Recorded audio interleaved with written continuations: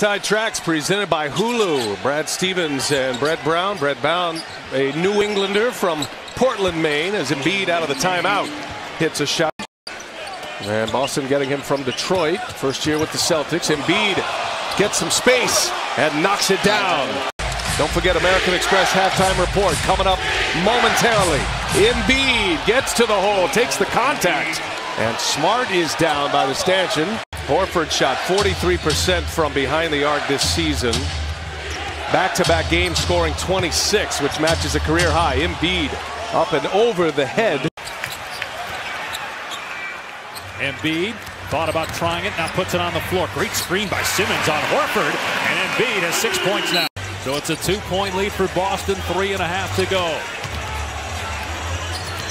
Embiid drive, gets past Horford. Oh, he stuffs it on him! Trust this! Since that time, Boston has outscored them 50 to 20. As Embiid and Tatum has 15 points, 10 of those coming in the quarter.